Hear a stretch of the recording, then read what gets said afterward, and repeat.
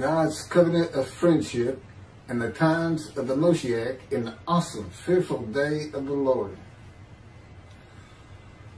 The times of the Moshiach. Well, they've already begun much different than the rabbis teach of the Messianic era when Moshiach comes.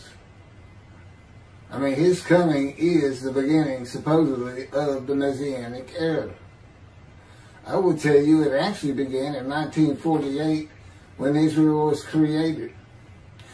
That's when God knew he was going to uh, need a representation, a man who could speak and write his words as he had Moses, because that was the beginning of the day of the Lord.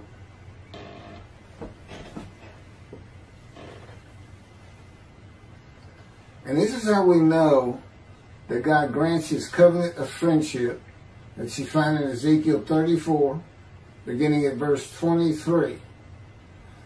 And this is what he says he's going to do when Moshiach comes. This is straight from God. This is not from uh, a psalm or chapter 11. That even, even uh, Rambam said, you know, look, we're looking at a bunch of metaphors. It's a time of peace. Okay, but look at the end of chapter 11. When Israel goes uh, to war against neighboring countries. Well, that doesn't look like a time of peace. Every verse before the, uh, I don't know, a wolf shall lie with a lamb and this and that, all those. You know, they're just leaving out what they don't want to see. It's cherry picking.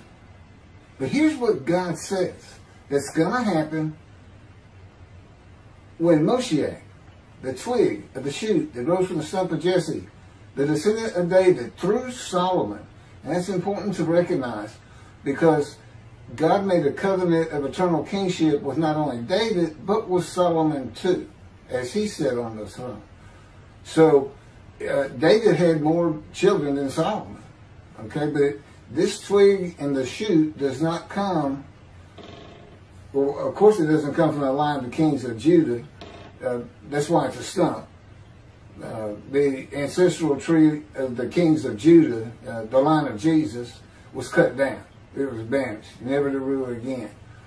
So, um, Moshiach is as much a descendant of Solomon as he is descendant of David, or and as much a descendant of Jesse. But God calls God calls uh, the descendant of David, simply David, my servant David, a shepherd. That's how he refers to him, not King Moshiach, as Rambam does, and as uh, those who teach the Messianic era believe. Verse 23, Then I will appoint a single shepherd over them to tend them, my servant David. He shall tend them. He shall be a shepherd to them. This is after all the rabbis are dismissed. And what's being said, what's being said and what God tells me is, is likened to uh, rabbis being teachers. Everything you're seeing in, in the books that he had me write, and these videos of those books are new teachings. They're new teachings that everybody needs to hear. And in particular, they are the proofs that God is here, along with the angel of his presence, the Holy Spirit, and the man. And to understand this day how he communicates with the world. And did throughout the Hebrew Bible. To open up, that's that's one of the things they say is uh, the Torah, there'll be new knowledge of Torah. Well, it's new knowledge of the Bible that includes the Torah. All these proofs all these proofs God is offering and astounded that there's nearly even a comment from a Jewish person. But that's what Isaiah 63 says. Who is this coming from Gentile country? It is I, says the Lord. And of the peoples, none are with him. The peoples he tramples by the way. The utter destruction is there again. If they don't heed his prophet and listen to him.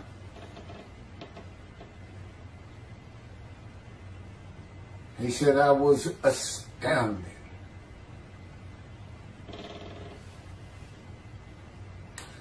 So here's what he says in his covenant of friendship.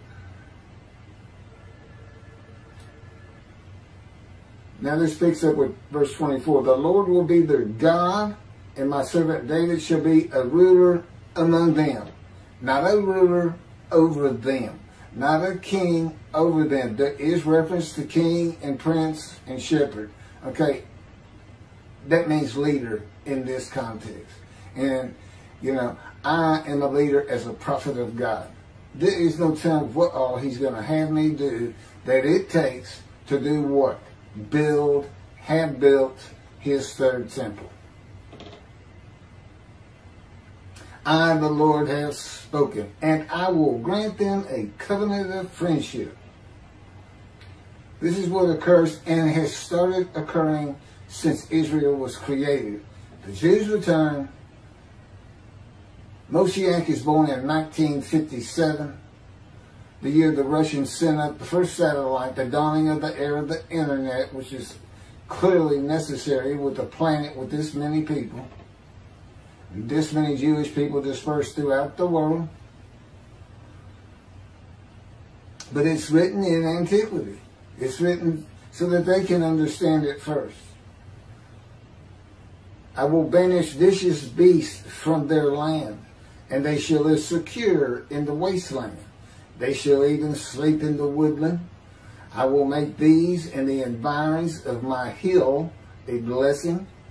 I will send down the rain in its season, rains that bring blessing. The trees of the field shall yield their fruit, and the land shall yield its produce. My people shall continue secure on its soil. They shall know that I am the Lord when I break the bars of their yoke and rescue them from those who enslave them. Today, that would just be Christianity, religion against religion. Two billion to, uh, I don't know how many Jews are in the world, seven million in Israel, give or take. They shall no longer be a spoil to the nations, and the beasts of the earth shall not devour them. They shall dwell, dwell secure and untroubled. A time of peace in Israel. It doesn't have to be peace in all the world. How is God going to bring peace in all the world when he is going to have his vindication in his day against the Gentiles who treated the Jews so terribly?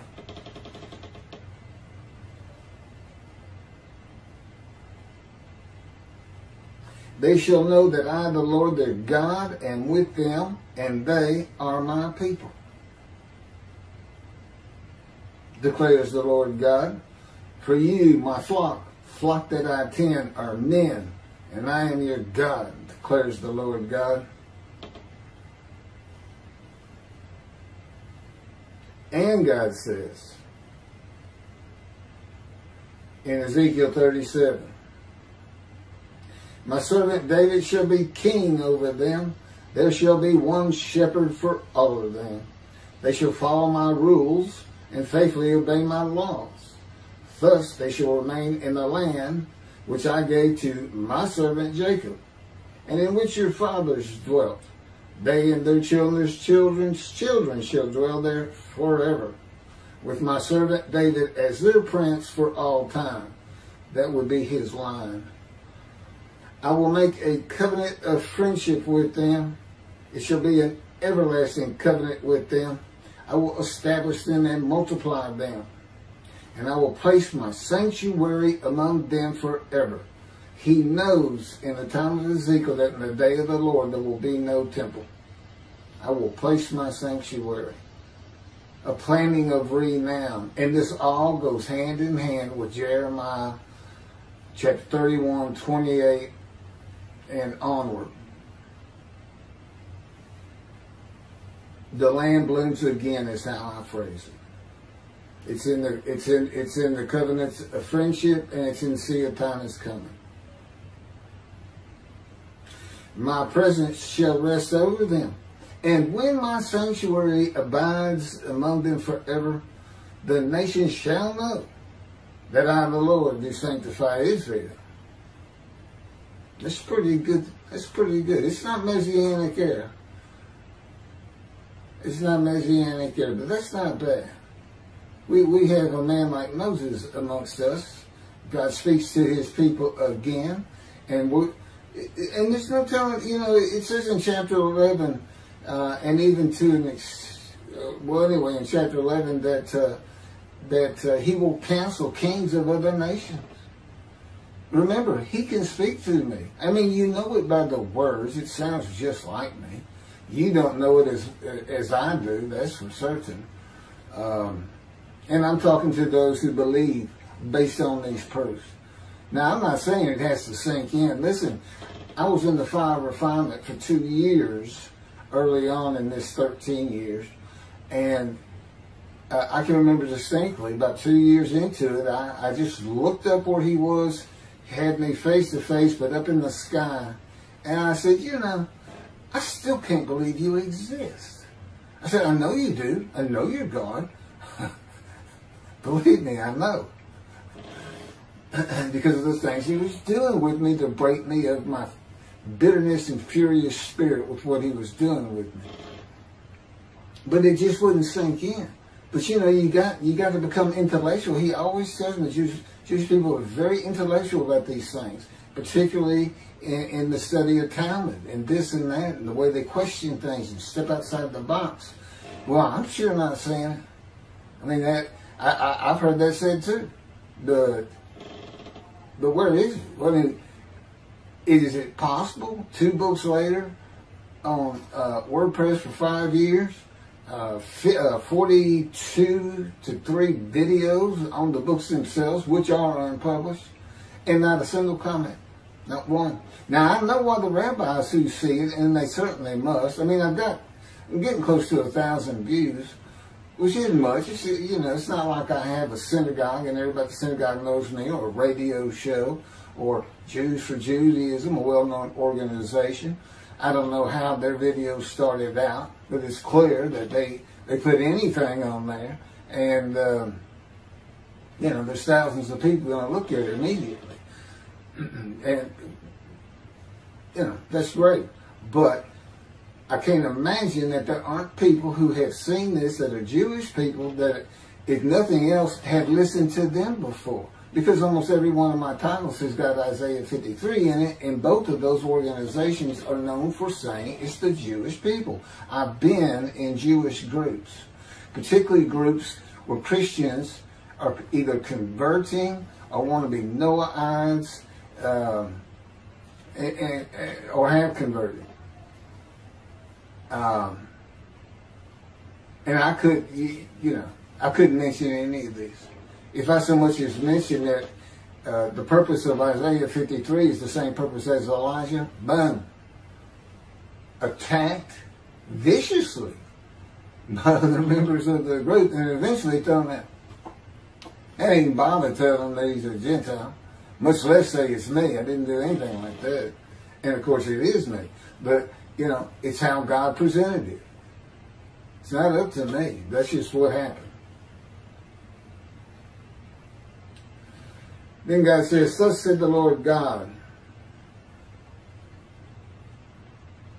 This is 37. I am going to take the Israelite people from among the nations they have gone to and gather them from every quarter and bring them to their own land. That will never be all the people. I will make them a single nation in the land on the hills of Israel, and one king shall be king of them all. Okay, this is written for antiquity. What do we know? Moshiach's here. Israel is a democratic country with a prime minister, a Knesset, basically what we would think of as a Congress and a House and uh, or a Congress and a Senate uh, in America. Never again will they be two nations. That's what it's really about and they're not. And despite Ezekiel's vision that every tribe will go back to its appointed uh, original lands, that's not going to happen either. It can happen. Maybe you could have thought it 2,000 years ago, even the time of the Talmud. But you know, there's just been too much intermarrying. There's no pure Levite. There's no, you know, pure Judean. There's no pure Benjamite. They're all gone. They're all gone. And never again shall they be divided into two kingdoms. Now, there's a little problem with that because you can start saying, well, uh, there isn't other peoples in there. They, they, they, you know, they haven't even made a state for themselves, but they want to inside the promised land. So that's something that's going to have to be addressed one day. Nor shall they ever again defile themselves by their fetishes and their abhorrent things and by their other transgressions. Torah written on your heart. God is back. God is here. Son, the Father will say. It's real. Don't turn your back on the Hebrew Bible. Look, it's real. Look at what everybody is saying of this man. I have to be lifted high for this to work, folks. Those witnesses who believe, tell everybody you see, who can believe our report read these books and watch these videos and tell me it's not him. And keep in mind, he was an atheist for 50 years. He said no training in religion whatsoever. Everything he knows comes straight from God. It's the only answer. There is no other answer, as hard as it is to sink in. I will save them in their settlements where they sinned, and I will cleanse them. What does he do in the day of the Lord? Once he has his Moshiach, his, his representation prepared, what does he do? He announces that the new covenant is here and that all Jews are forgiven of their sins and inequities. He remembers them no more across the face of the earth unlike Christianity, that doesn't mean you're going into the scroll of remembrance. You could be dismissed. You could be those who do not heed him that he points out, do not esteem and revere his name in Malachi. And he knew when he made the new covenant that it says, all will heed me. Well, again, that's how you write that kind of. thing. I'm going to forgive your sins. I expect everybody to respect me, heed me, revere, and esteem my name. But God knows better than that. He knew when Moses announced the first covenant, where all Israelites had to agree to it and abide by it. He knew Moses wasn't going to get finished talking, and there wasn't going to be sin happening in that crowd of over a million people. Okay. I mean, it's just common sense that God knew that. He knows everything. That he started a relationship with the chosen people, the beginning of his script for his reality show. The greatest reality show of all time. That has to be the Holy Spirit. That's how he does. Okay, moving on, Holy Spirit person. Then they shall be my people, and I will be their God. Again, it sounds like he stopped. But he never has. He, is, he espoused the Jewish people. But you could almost say when you leave the land, if you go off into Europe, bad things are going to happen. Bad things are going to happen. And I gave this analogy before, the crusty old rancher in Texas. And he has built up this ranch, and he's, maybe he's got a couple old old rigs on it, and it's it's it's flawless, it's beautiful. And he's getting old, and he wants his son to take over, and expects him to, expects him to live on that land all of his life. And he looks up, and there's his son in a dapper suit, suitcase. Says, "Dad, I'm going to the city. I'm going to live there the rest of my life." Huh. Now I know this isn't a Roman dispersal. This isn't a destruction of the land that part of the analogy doesn't work, but this part as to God does. Well, you just go ahead and go. But while you're gone, don't you call me and ask for help. I'll just wait for you right here. You will be back. Okay, now that's God, folks. I think y'all forgotten his ways. You know, he's taken a lot of effort to put all this together. He's been with me for, been, been with me for 63 years. And, um, But he is having a good time. We, we, we laugh all the time.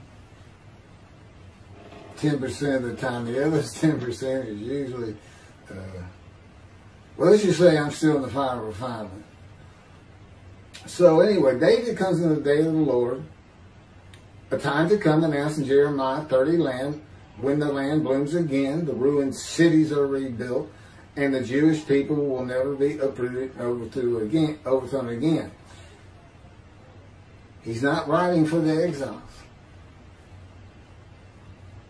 They couldn't. The northern kingdom was inhabited by Gentiles. They, it, it, doesn't apply on many levels. Moshiach didn't come, uh, as you would find the branch is supposed to come and build the second temple. But he didn't. He didn't. I think that's uh, Zechariah, but or Ezra. In any event, it's for the Roman dispersal. God knew what Rome was going to do, and He wanted He wanted His people to be dispersed throughout the world. But not necessarily all of them. You know, come back and keep the land going.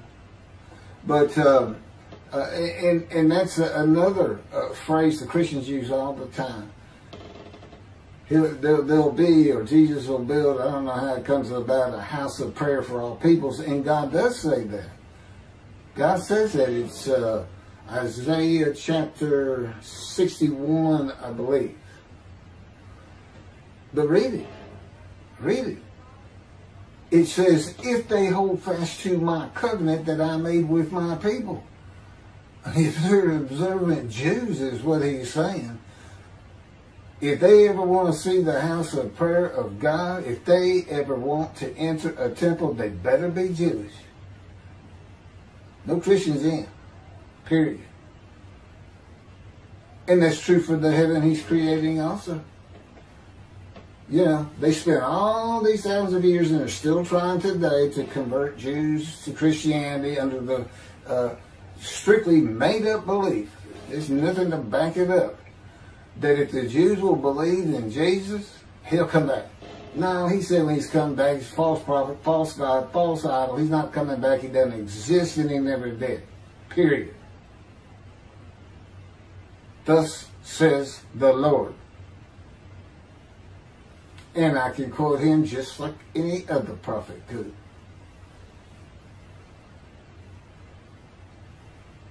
I am the true righteous servant of God a prophet of God, a man in divine beings. There is no Jesus. There never was a Jesus. And God would tell the rabbis, tell all Jews, stop acting like he existed. The minute you say you believe there was a Jesus,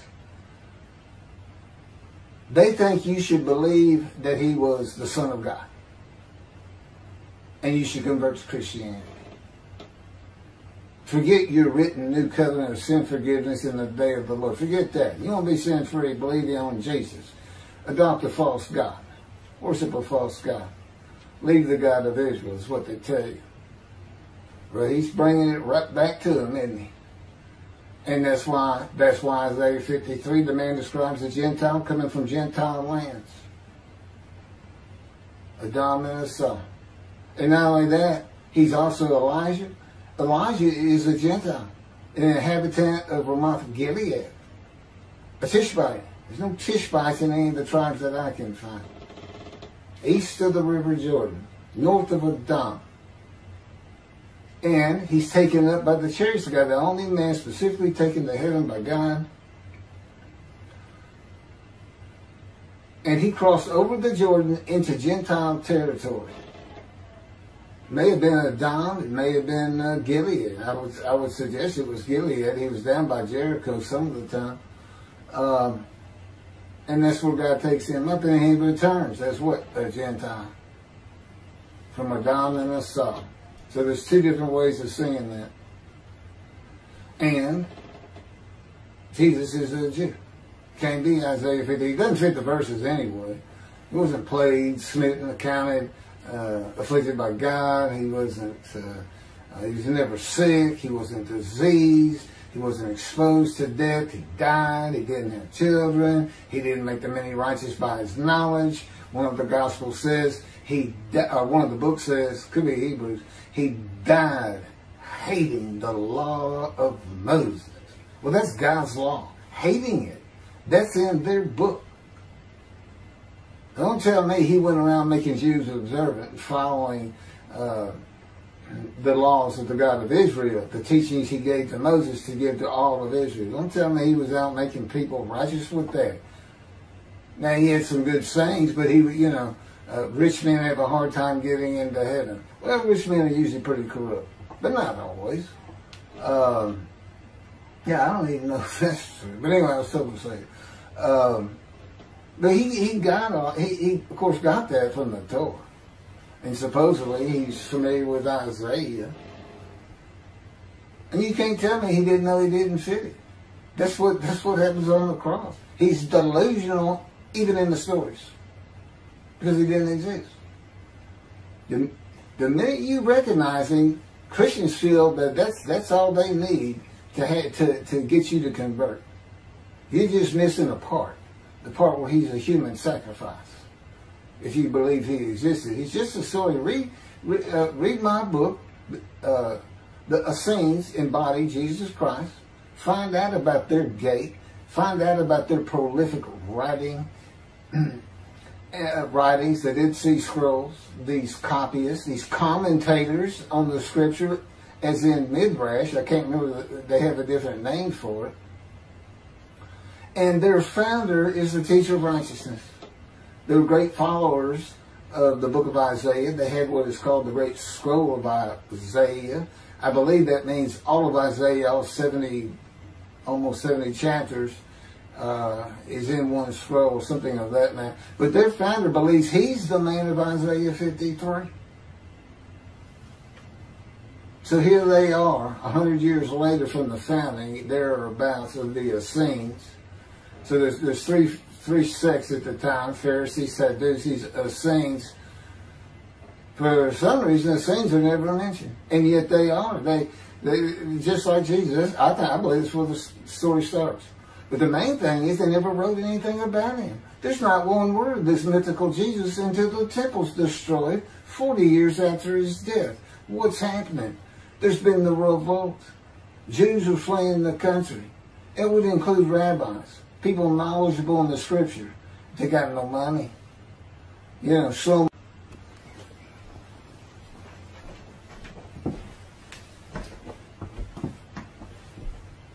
My memory card only goes to half an hour. Shlomo turns to. He says, Ifsing, what am I going to do? I need all my money at synagogue. I got eight kids. My wife's bothering me. I got, what are we going to do? And Ifsing says, how about that story about Jesus? That Jesus character, that, yeah, I know, mythical character. What about him? All that stuff, man, God, you know, Caesar. You know, everybody believed he was God. I don't that'd be a false god. And of course, in Egypt, remember the teachings that came with the uh, those in the Exodus. So uh, they and and, and, and uh, Shlomo says, "It's saying, please, please, you can't attach anything of the Moshiach, the Anointed One, to the story of Jesus. Are you kidding me?" If things says, Shlomo." Nobody, the Gentiles can't read. They can't go check anything. You saying that me and you together can't put together some books on that story and just throw in whatever we need to to make it sound like prophecy is satisfied in this guy? Who's going to check? That's how it started. It's the only explanation. How could they, how could they have not the Essenes, they got their own gate at Jerusalem. How could they not have heard about Jesus Christ, who is claiming to be their who their founder said to be? They did check that out. They did check it out. The man walking on water, raising dead people. These are stories that didn't happen. I know I fell into the same trap. Well, in biblical times, these things could happen. No, they didn't. In biblical times, everybody told stories. Everybody told stories. God told stories. Yeah, you tell you, well, no, wait, this stuff happened on the ground in my story. Some of their stories just come out of thin air. That's the difference. God's stories are based on true facts.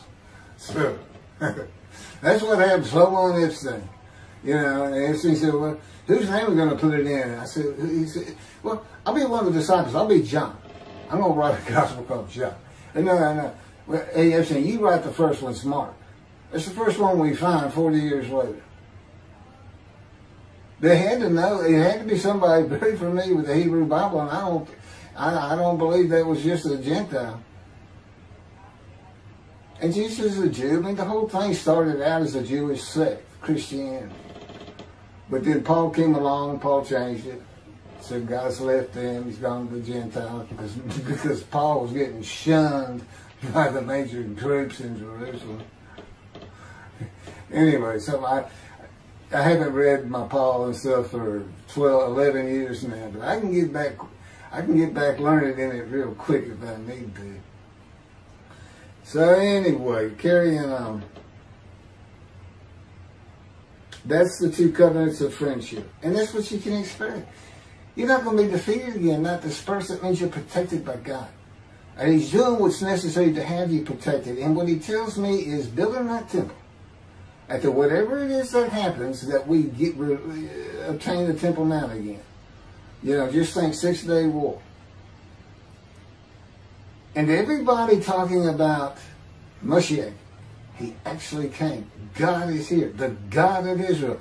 It's going to keep them from attacking you and defeating you. Uh, again, they may attack, but they will not win. Now, that could be in God's power. But, you know, he does. I'm not, I'm not, as I say, I'm not on the executive committee here. I am nothing but a lowly servant.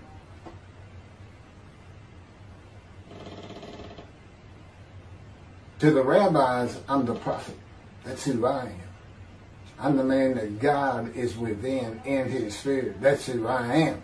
But in this room, I'm the lowly servant. I can assure you. I can't say, uh, could you catch the light for me? Because I know his power better. I know his power like the back of my hand. Matter of fact, it's on the back of my hand. Yeah, could you, uh, hey, Holy Spirit, uh, tell me a story. I'm getting ready for bed. Yeah, one night, one night I said, they've been talking, they've had me a, a sleep deprivation is, is one of the great ways to break a recruit, and they do it with me all the time. Go days without sleep, and you know, and they talk and they talk. It's like I'm Solomon, and I got a thousand wives, and uh, they all like to talk. And if I said, yeah, I said, whoa, whoa, whoa, I gotta get some sleep. I gotta get some, you've got to stop talking. And just, like a hush fell over the room. And I hear the Holy Spirit saying to God, did, did he just tell us to shut up? I said, God, you know I didn't say shut up. I just said I need to get some sleep. You please be quiet? Yeah, man, he's in trouble, but he's so funny. They need him laugh.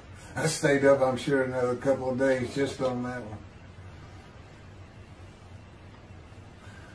one. Uh, well, this looks pretty good.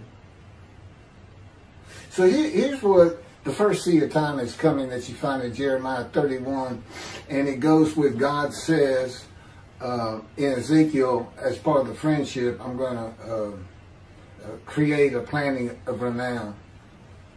See a time is coming, declares the Lord, when I will, and this is from the JPS.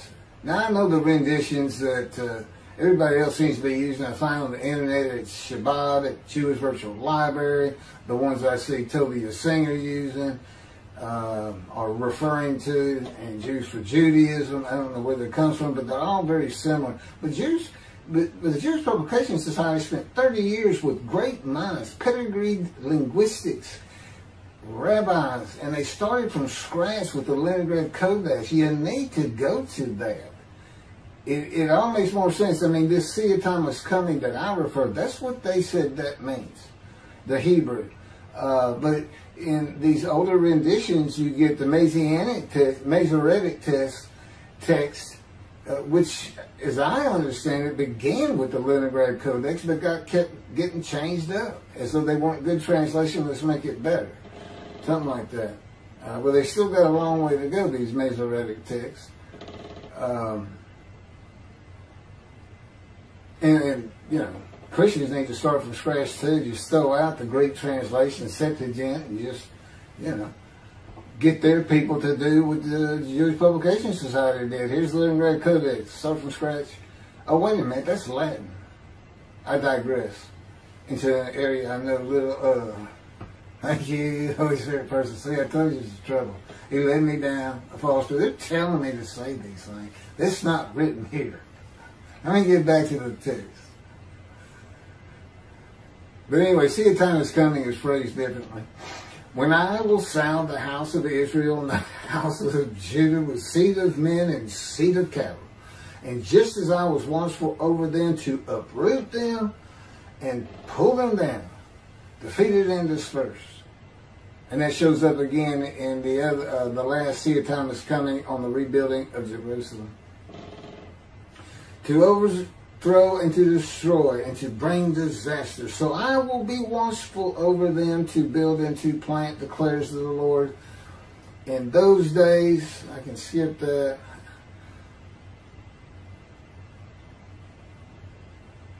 See a time is coming, declares the Lord, when I will make a new covenant with the house of Israel and the house of Judah. It will not be like the covenant I made with their fathers.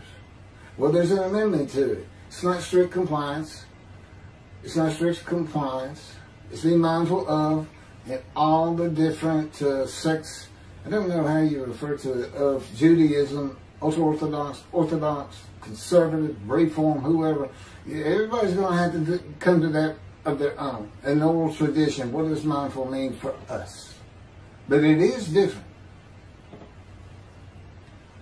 And and the inclusion of sin forgiveness, written sin forgiveness. Uh, again, there's a temple to be built. He did written sin forgiveness with the uh, exiles who returned and built the second temple, a holy seed. So it will not be like the covenant made with their fathers. He doesn't say that ended and I'm making it anew or anything like that. It's just new because of an amendment and all this, and I will be their God and they will be my people. It's just a confirmation, an affirmation of the first covenant always being in existence. You know, he says even even Moses violated it, but I married you anyway. I think we can safely assume God doesn't divorce. Can't get a get, so to speak, right? Jewish people. What else did I learn the other day? Oy, oy. That's that's almost the extent of my Hebrew. I'm working on my alphabet. That's Yiddish, I know that. Uh, they're making me get real positive about things. Sometimes they make me feel like this thing will never get off the ground. But that's not true of late. Not since we started videotaping. And uh, they're getting me serious about learning Hebrew again. I will put my teaching in their most beings, scribe it on their hearts. But anyway, y'all y'all can find that. That's Jeremiah 31, verse 27. Okay, so the day of the Lord, this makes sense, is, is to complete and fulfill the remaining prophecies of the Hebrew Bible that are out there, still outstanding, haven't occurred. To deliver two specific covenants uh, and build a third temple, and God will have his vengeance for vindication against the enemies of the Jewish people his enemies. The Jewish people will never be overthrown uprooted again, will no longer bear the taunts of nations. The world will know God sanctifies Israel. Now, does that mean everybody in the world is going to do that? No. Does that mean every taunt against the Jews is going to stop? No. You know, it's it's uh, is everybody going to heed God because He forgives their sins? No. Yeah, you got you got to read these with a little common sense. And will rest secure in a time of peace. What is a time of peace? Does that mean you're not in war? Or does it mean your neighbors love you? What is it? Is it utopia?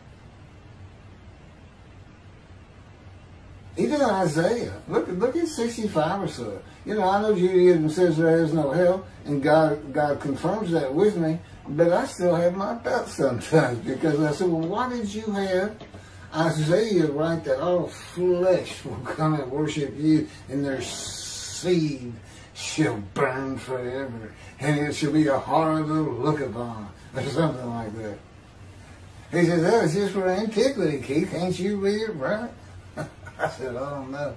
I've fallen into the rabbi trap. I'm picking and choosing because I feel like I'm living in heaven. I'm supposed to be learning about what it's like to live in heaven with God supplying the information of my mind. But I swear I feel like I've been dragged through hell for this 13 years. I know it doesn't show now, and I have to admit, I was never this guy that laughs and smiles all the time. Never even close to it. So there's something to God whooping up on you all the time. Are there any happy Jews out there? I think there are. They're great comedians, but not as great as the Holy Spirit person. Which means they can make me into a great comedian. You know, I tell them, well, what's going to do if it's going to fail? Y'all poor mouthing this whole thing. Might prosper, might prosper. Oh, well, you know, got what? Hey, and, and uh, I said, well, let's go do something else. Why don't you just write a different kind of book? Why don't we got to write a religious book? You can do anything. Let's go to Vegas. Cheat. Tell me what the other guy's cards are. So, big deal. Who's going to get you? He said, he said, well, nobody's going to get me. I don't do things that are wrong. I said, really? See, I him into that one. Really? You know, you know, you don't call beating on the lower existing creature of the universe wrong. He said, nothing has a purpose, and that's the way to change it. See, that's okay. I said, that's like me telling the police I was over here when I was at the scene of the crime. I said, is it, is it because if I had told them I was at the scene of the crime, I was going to jail. It's okay it's a lie, but it's an okay lie. See, that's why, you know, it, that didn't really happen, by the way. That's just some, that, that's just a, a, skit that we put together for me to learn things. There, there, there was, there's analogies to it. It just wasn't a police. so anyway, so Rambam re refers to, I'm going to finish up with this. Rambam refers to the anointed one, Moshiach, uh, from the line of David through Solomon uh, as King Moshe. He's got two chapters on this great book he put together. It does chapter eleven does not mention a king or a kingdom with regard to Moshe. Moshiach is not mentioned again in Isaiah, and just once more in Ezekiel 34 and 37. And that's just with the covenants of friendship for the most part. He's got two two huge chapters of. And Moshe shall study Torah. And Moshe shall do mitzvahs. And Moshe shall build the temple. Moshe shall do the... And really, King Moshe and King Moshe will gather his his kingdom to him.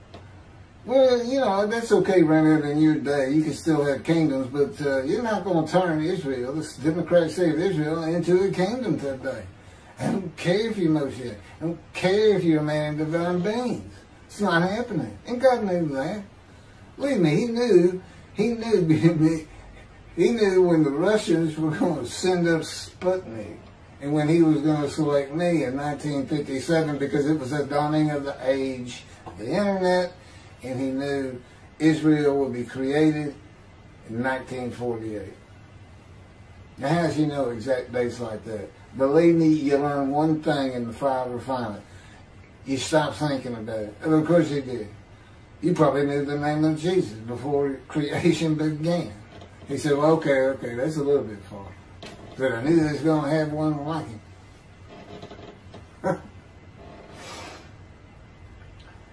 okay, and that's in 34 and 37 Ezekiel. And God refers to him as my servant David, a shepherd, a king, and a prince, both lowercase letters there. Um, and he is also the speaker of Moshe. the speaker of Isaiah 61, although not specifically identified. It's not Isaiah, it's not Jesus. Jesus uses it to declare the day of the Lord, and that's when he, he, he, he leaves out the angel of the covenant of sin forgiveness to describe John the Baptist as Elijah who is clearing the way for him instead of for God to return to his temple. Couldn't say that either because the temple's already there, but he certainly did.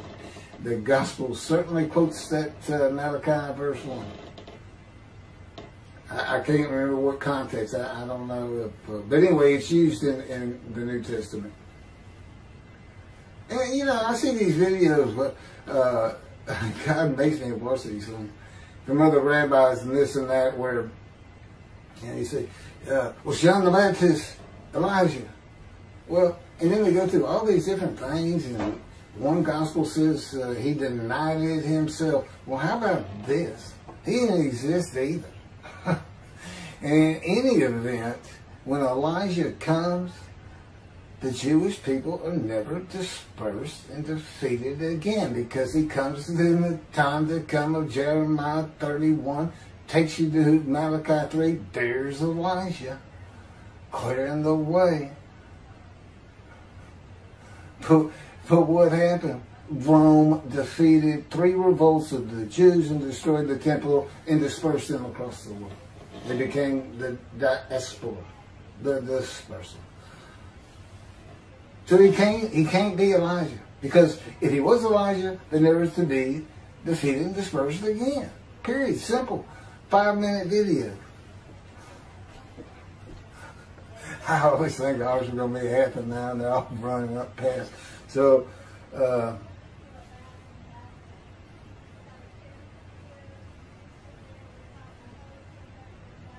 oh, what about that?